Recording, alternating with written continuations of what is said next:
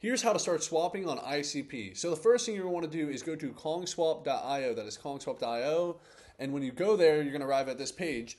Now the first thing you're going to want to do is you're going to want to pick a wallet to connect to. So you'll click the wallet button and then you'll have a variety of, you know, wallets you can connect to, whether it be NFID, Oisy, um, internet identity or plug wallet. Personally, I'd recommend at the time that you know you're watching this video, I'd recommend NFID, and you can sign up to NFID with just your Google account. That's all. You just need a Google email, and you can click on wallet, and then you know buy the NFID. So then you have your wallet, you log in and everything, and it's basically the same thing. If you've ever used Uniswap before, it's the same thing as that. But if you've never used Uniswap before, um, yeah, I'm going to show you a swap real quick. So take a look at this real quick. Um, I have CKUSDT against Kong right now.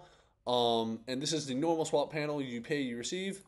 And we're going to do a swap, um, just for the purpose, I'm going to do a swap between uh, the CKUSDT to CKUSDC, which are just uh, the wrap stable coins on ICP. So I'm going to click right here, you pay, and I'm going to click swap, confirm swap.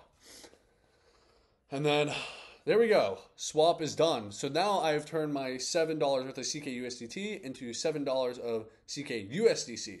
All right. And even if I want to, I can also um, go to the pro mode.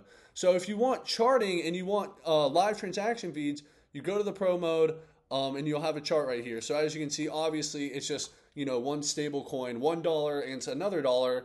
Um, so the chart isn't too interesting. But you can get charting as well by going on the pro mode um, which is super cool. And then you can flip like this.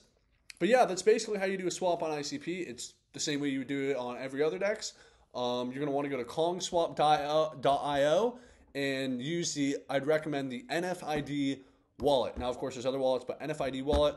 And it's fairly simple. You just, you know, you have your tokens in your wallet and you click pay and then you'll receive the tokens after you do swap. So yeah, that's how you start swapping on ICP. Um, like this video, subscribe, and comment uh, for more tutorials, and thank you for watching.